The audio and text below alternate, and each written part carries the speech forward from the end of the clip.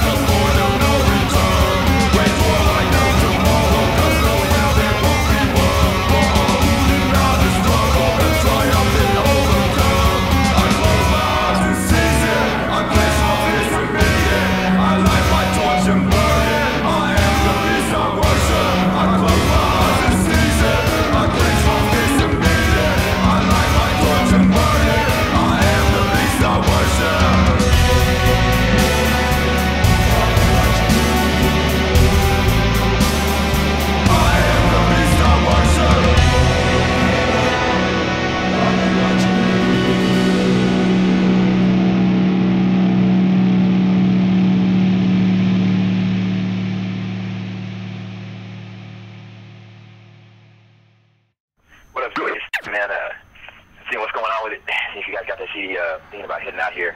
He's gonna come through and smoke some. It goes, it goes, it goes, it goes, it goes, it goes, it goes, it goes, it goes, it goes, it goes.